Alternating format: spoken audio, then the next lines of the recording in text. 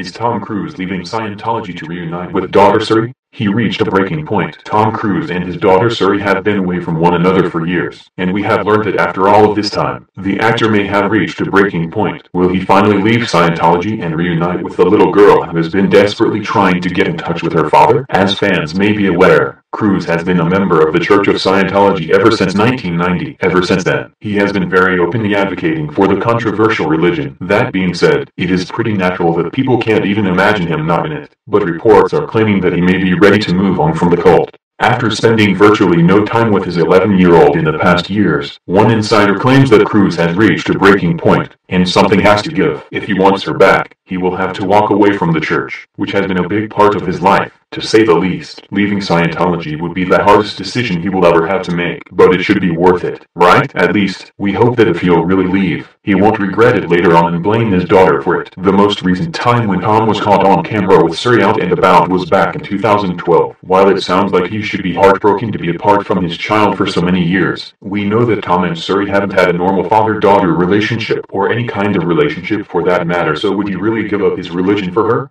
We truly hope so, but it doesn't sound too realistic at this point. What do you think? Would Tom Cruise leave Scientology to reunite with Suri?